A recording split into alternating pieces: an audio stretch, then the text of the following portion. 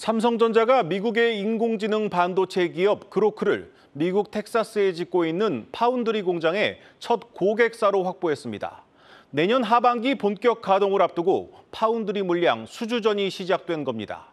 가까운 애리조나에 공장을 짓고 있는 대만 TSMC와 치열한 고객 확보 경쟁을 펼칠 전망입니다. 박혜린 기자입니다.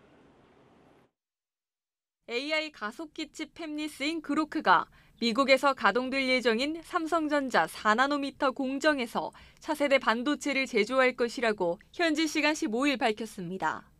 삼성전자가 미국 텍사스주 테일러에 짓고 있는 파운드리 공장에 첫 고객사를 확보한 겁니다.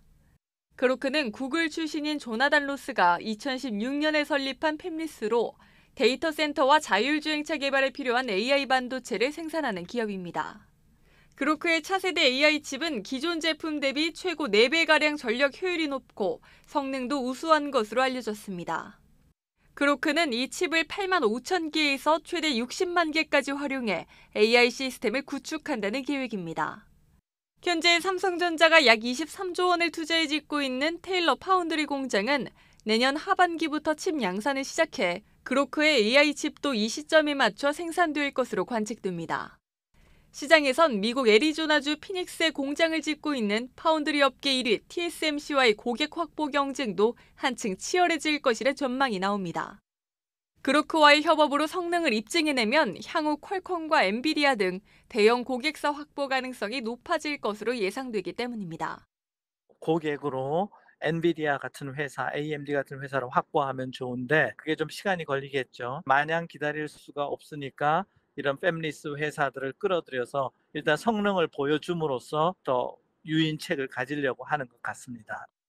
증권가에선 삼성전자의 4나노 현재 수율을 75% 이상으로 예상하며 수율 개선으로 퀄컴과 엔비디아가 삼성 파운드리를 통해 최신 고성능 칩을 위탁 생산할 가능성이 높아졌다고 분석했습니다.